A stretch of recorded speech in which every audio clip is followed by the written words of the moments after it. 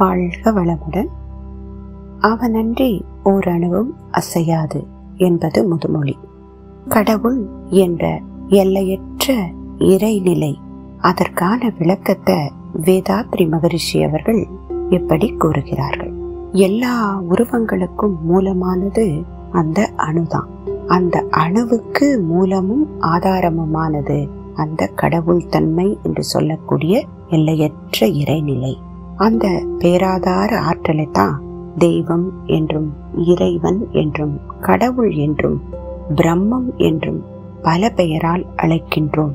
இதுவே அருட்தந்தையின் இறை தத்துவம் பற்றிய கருத்து. உடலுக்கு ஒரு பதிவு.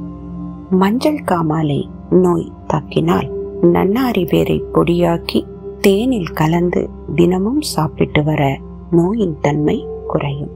வாழ்க வளம்